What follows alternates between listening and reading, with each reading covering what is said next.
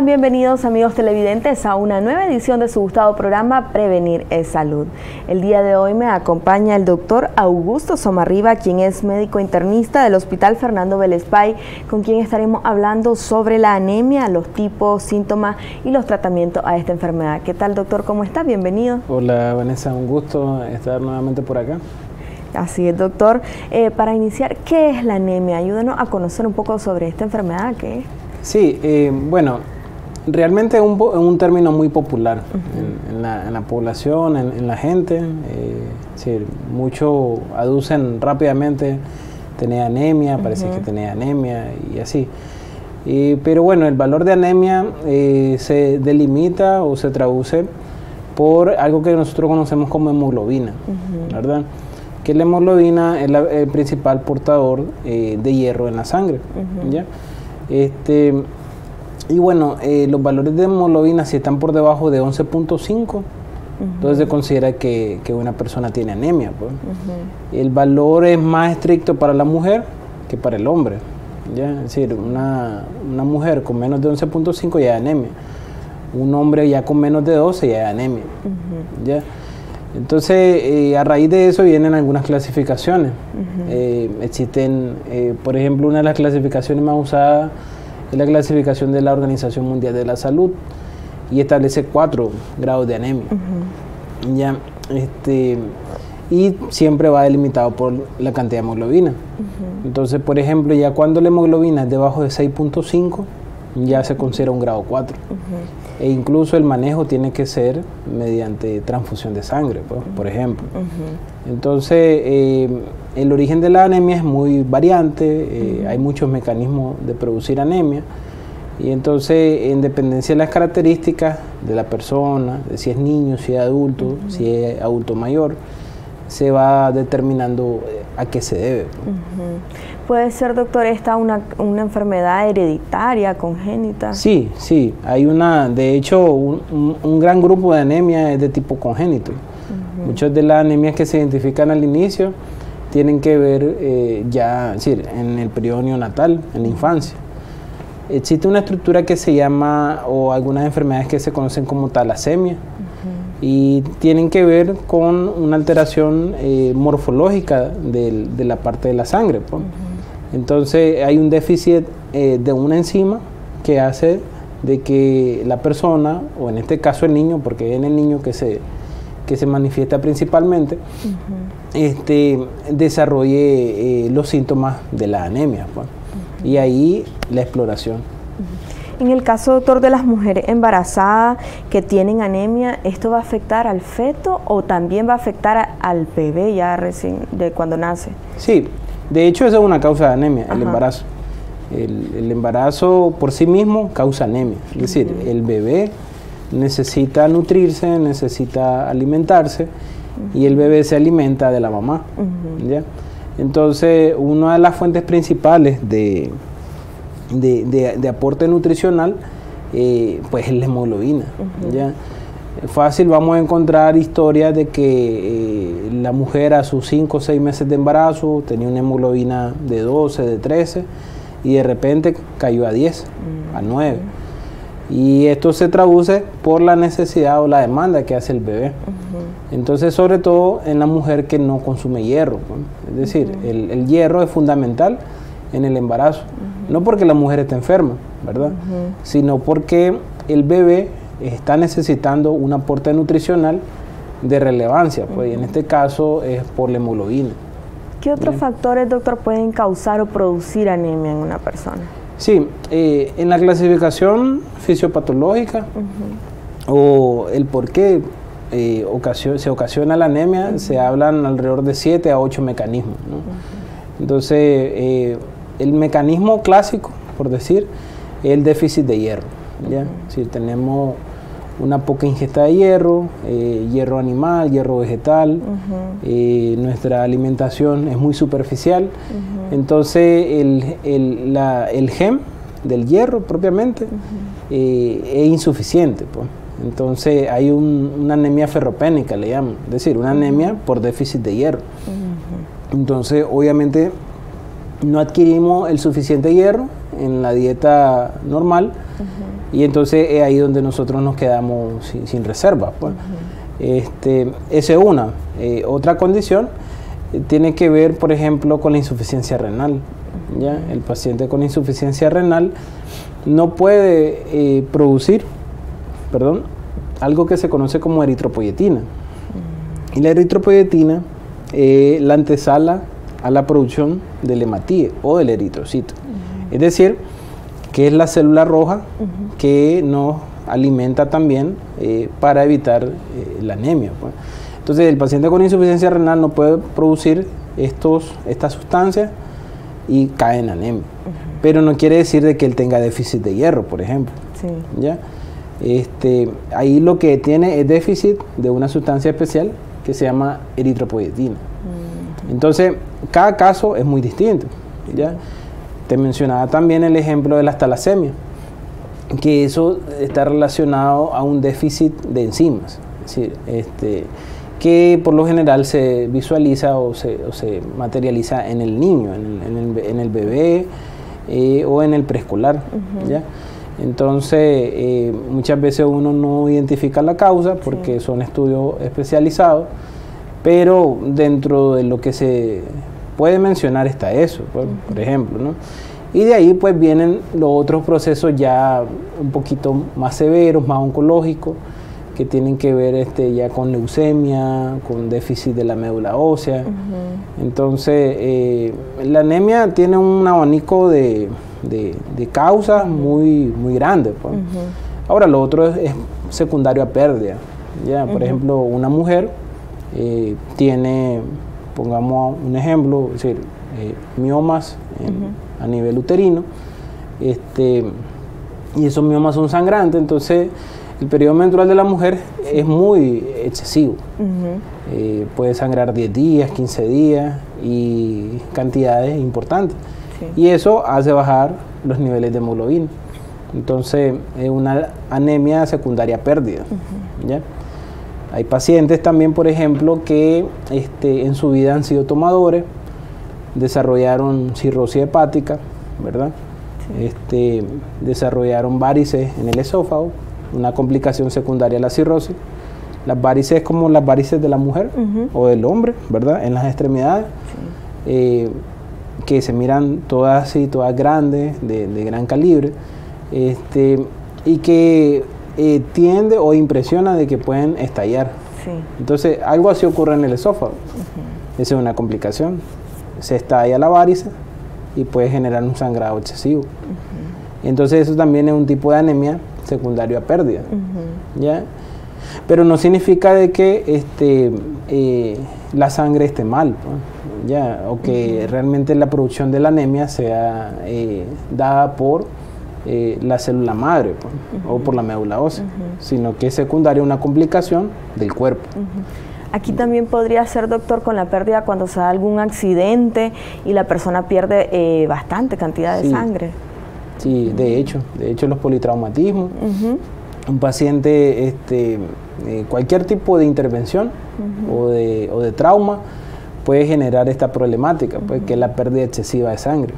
Entonces, eh, en la situación del parto, una de las complicaciones que, se han venido eh, queriendo derrogar, ¿verdad? Este, son las hemorragias postparto, pero pues desgraciadamente por características propias de la, de la paciente, de la mujer, eh, pues siempre va a ocurrir en menor incidencia, pero siempre hay que tener presente este tipo de complicaciones, aún en los mejores sistemas de salud del mundo. Pues. Entonces eso se le conoce como hemorragia postparto. Entonces la pérdida excesiva de sangre nos lleva a tener anemia secundaria. Y esa anemia secundaria, si se pierde demasiada volemia, le llamamos, o cantidad de sangre, puede comprometer tu vida. Doctor, aquí vale hacer la aclaración a todas esas personas que son donantes o que van a donar sangre, tienen pensado donar sangre. Una donación de sangre no lo va a volver una persona anémica, en ese, porque lo que se dona es un litro. Sí, eh, no, es medio de, litro. de, hecho es, medio litro, son, 500 ml. Sí. Ya no, no, no, eso no, este, no genera no genera anemia, pero sí dentro de los requisitos para poder donar es que sea una persona competente, es decir, que no tenga anemia.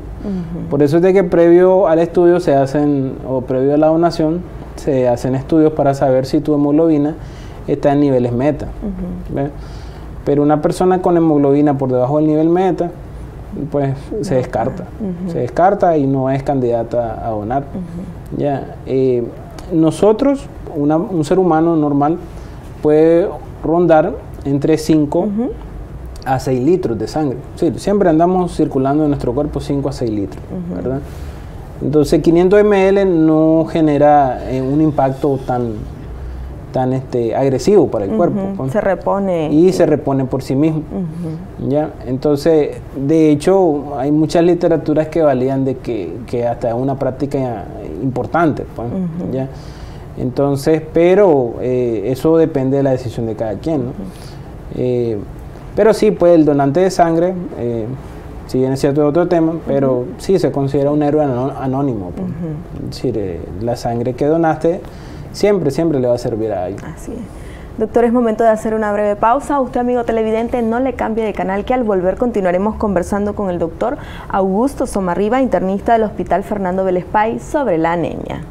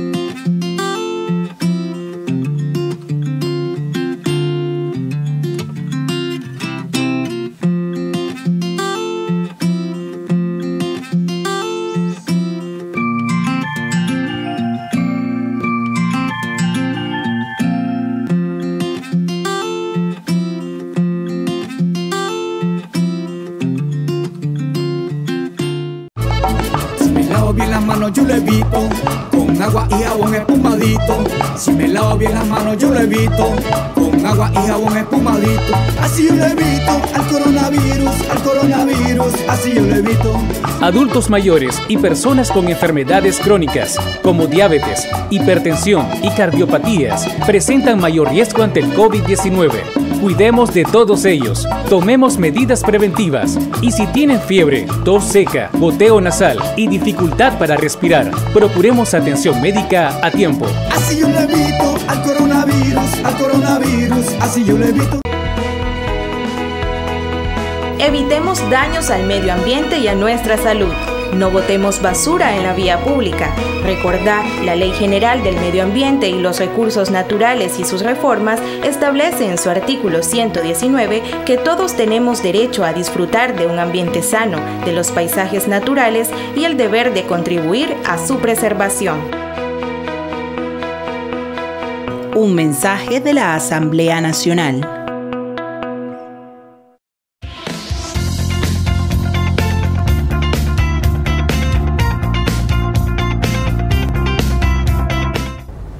Gracias por su fiel sintonía. Estamos de regreso en su gustado programa Prevenir es Salud. El día de hoy conversando con el doctor Augusto Somarriba sobre la anemia. Ya el doctor nos hablaba eh, de qué es esa enfermedad y cuáles son las posibles causas. Doctor, ¿cuáles son los signos o síntomas que nos pueden indicar que padecemos de anemia? Sí, principalmente, y, lo que mismo lo que dice la gente, ¿no? Eh, que es la palidez mucocutánea, pues. es decir, si vos te fijas acá, en nuestros dedos, nuestro pulpejo de dedos, si nosotros le hacemos acá, se ponen como rojitos. Entonces, cuando esto no ocurre y más bien se tiende a poner blanco, eso se le puede conocer como palidez mucocutánea. Y pues, eh, a, la, a, la, vista, pues también, no es de que se tiene que, que, aprender a diferenciar de una persona con un tipo de piel blanca, ¿verdad? Eh, a un tipo de piel pálida. Hay pacientes con piel blanca que están pálidos. ¿ya? Y eso se tiene que identificar por diferentes exámenes físicos. Otra, otro signo interesante de, eh, que ocasiona anemia o que puede estar detrás de un proceso anémico de relevancia es la estructura de la lengua.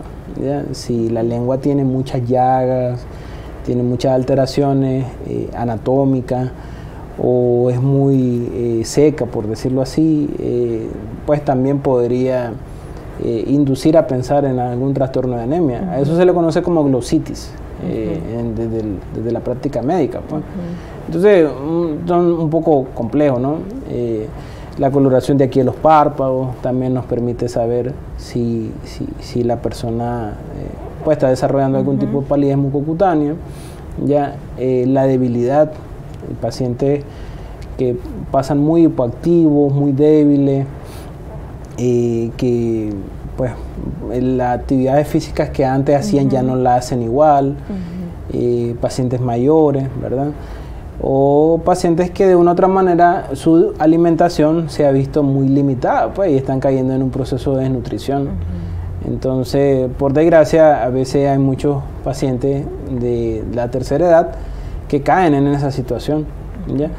Y entonces eh, la anemia es un síndrome, ¿no? Es decir, se le conoce como síndrome anémico.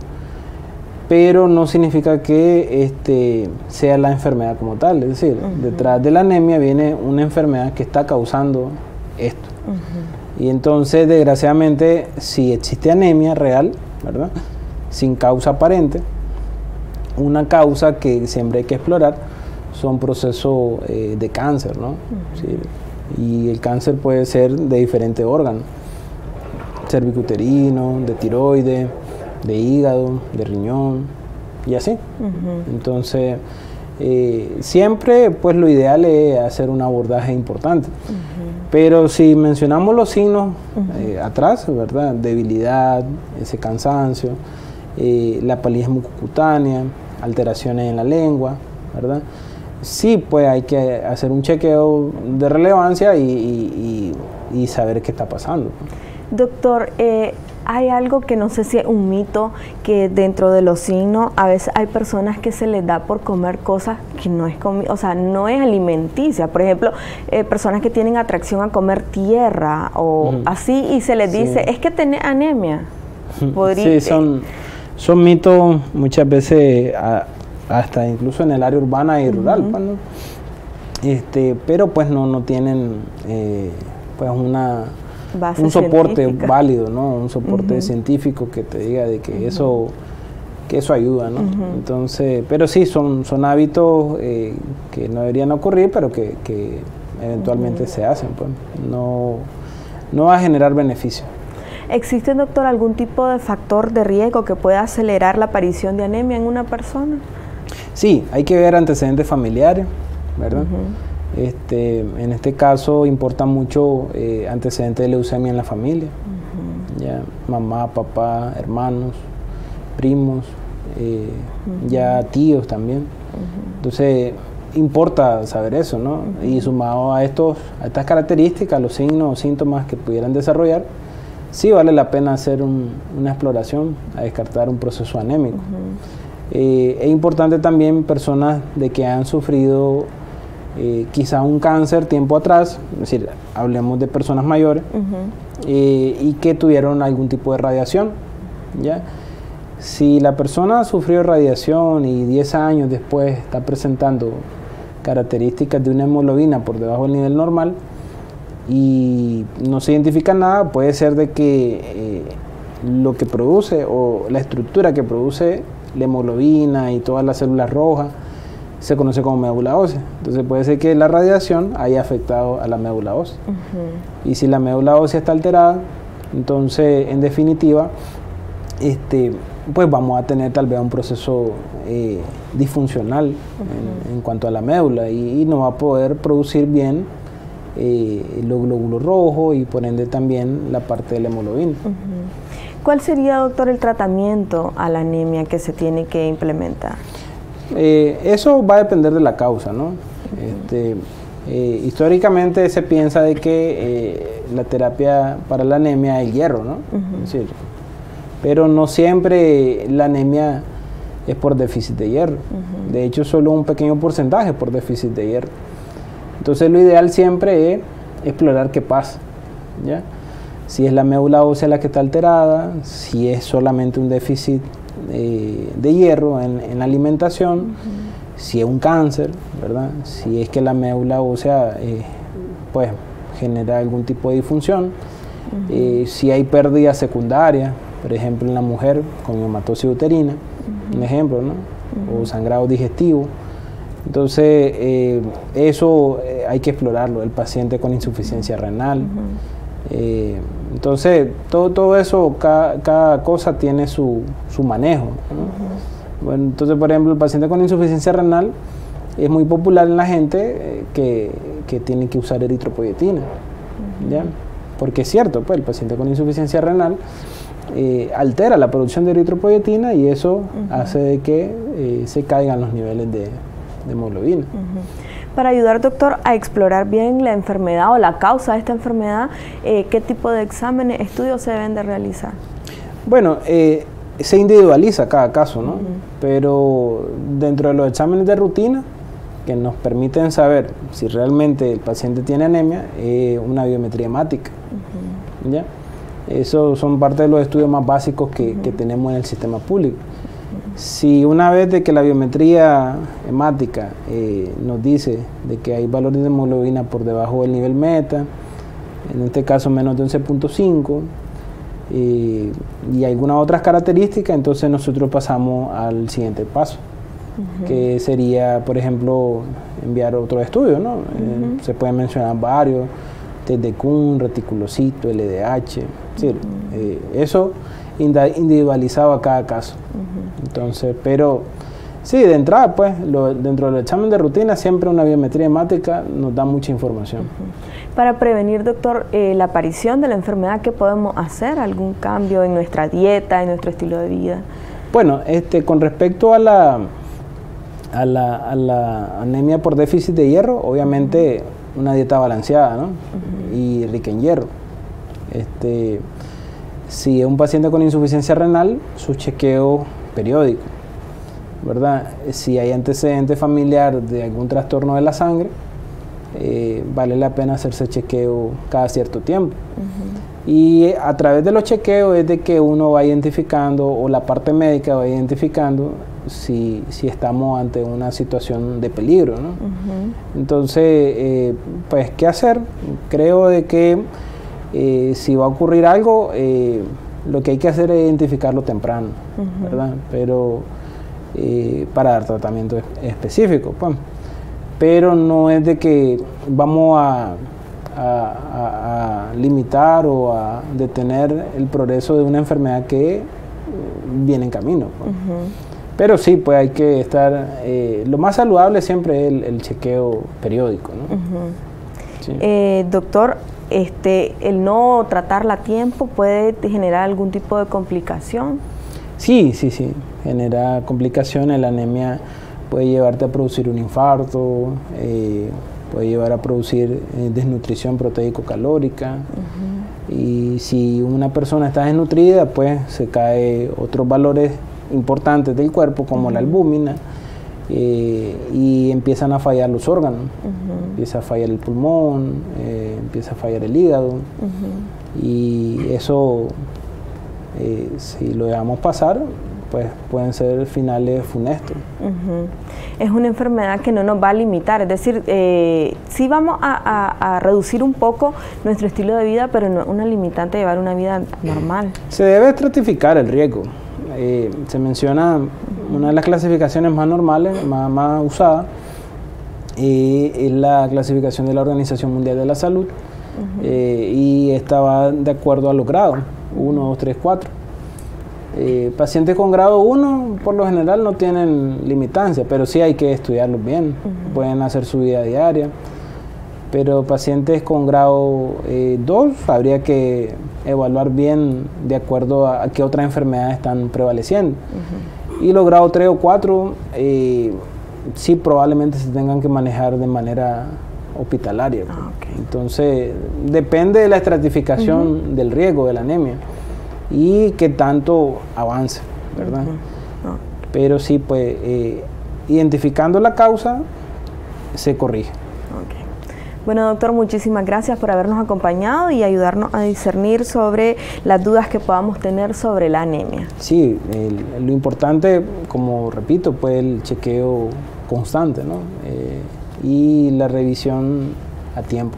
Ok, muchísimas gracias. A usted, amigo televidente, gracias por su fiel sintonía. Le invitamos a que nos sintonice el día de mañana a partir de las 3 de la tarde.